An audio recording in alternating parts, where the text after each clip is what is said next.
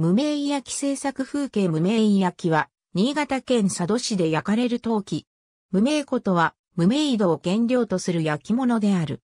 1819年に伊藤仁兵衛が佐渡金山の構内で産する無名意を用いて、落焼きを製造したのに始まり、1857年に伊藤富太郎が本焼きを始める。明治時代に入ると、三浦定山や伊藤積水らの手によって、高温で硬質に焼成する現在の無名焼きが完成した。技術的には水火を行ってからさらに絹目に通すため、他の糖度より粒子が細かく収縮率が大きいのが特徴である。また、成形後は生のうちに石や鉄ヘラなどで磨いて光沢を出し、焼成後には佐渡金山の精錬カスでさらに磨いて独特の光沢を出す。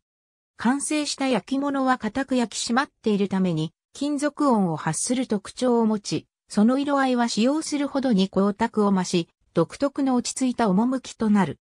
無名焼きは、佐渡で産出する糖度と釉薬原料を使用することが原則であるが、技術の進歩や投稿たちの長年の工夫により、近年は釉薬原料や造形が多様となり、窯元ごとに特徴の異なる製品が作られるようになった。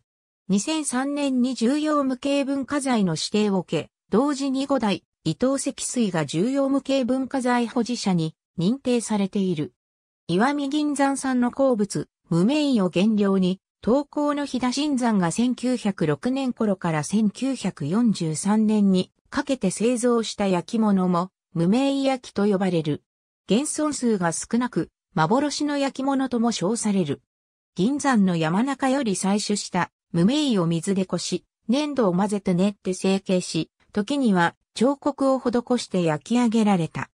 表面は無釉で硬く、褐色を帯びた赤色をしているのが特徴である。ありがとうございます。